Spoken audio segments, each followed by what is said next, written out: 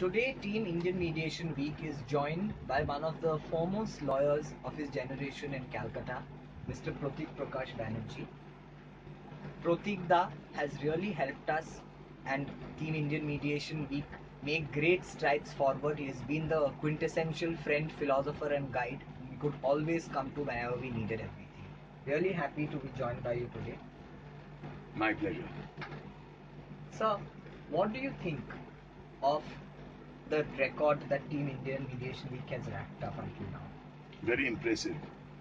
Right. Did not appear to be promising in the beginning. That's true. That's true. A lot of us have changed our attitudes towards mediation after experiencing it firsthand, and that's probably a really important thing. So, sir, one of the problems that our team has faced recently is that during mediation awareness drives and such, we've had lawyers come up and say that, oh, what you all are doing will probably eat into our livelihood.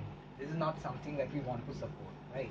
And that's something that we've found really discouraging because if lawyers don't step up to solve the access to justice problem, who will? What's your message to people who have these reservations about mediation? These reservations are, I think, a result of short term thinking and of lack of awareness of what mediation is actually all about. In mediation, both the sides have to know what their rights are, and there is nothing in law which prevents a lawyer from representing them as long as they remember that they are not being adversaries fighting each other to the death. They will have to hammer out a solution which would result in a win win situation. Lawyers can do it better than the clients themselves because, by definition, the lawyer is dispassionate. He can come away from the problem and advise. That is why he's a professional.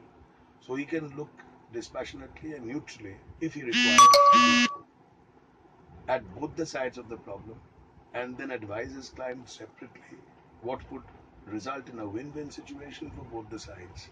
And if the client is thinking logically, in that case, he will understand what is good for him and he will accept a solution which would prevent further litigation. Sir, do you think that our present course structure and curriculum in hmm. national law schools and other law colleges adequ- has adequate focus on the access to justice problem that we face today? Not at all. I think that, as I have said in many forums before, many forums, and I have written about it before in blogs, our way in law schools is still very academic. Secondly, we do not teach our law school students what they will face when they go into the real world.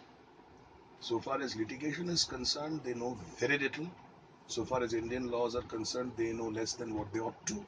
And so far as mediation is concerned, or arbitration or conciliation, these are merely subjects that they read to get marks in. Very few of them have actual experience in mediation. In fact, that's very curious. When you have a problem with your friend or a classmate or a senior in your own law school, usually it is mediated. So I would have thought that people who stay in hostels, they would have been masters at mediation. But in reality, it is different. So, so we have volunteers spread out across many cities who are working really, really hard and with nothing to gain from it really apart from solving the access to justice problem. Would you have a message for them just to pump things up a little bit? I have one message for all of us who have been working for mediation, especially the youngsters who are the volunteers. Hang in there, don't get discouraged. Do not be impolite, do not preach. Just show the lawyers and every other person you come into contact with whom you want to persuade to mediate. Just show them how it is better.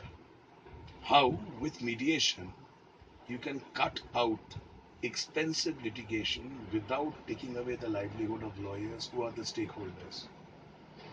Most important, keep a smile on your face. Don't preach, persuade. If you can do that, then you are showing mediation in real life. Those are great. That's a great message. Thank you very much, sir. We're really, really happy to have been accorded the pleasure of this Best interview. Thank you.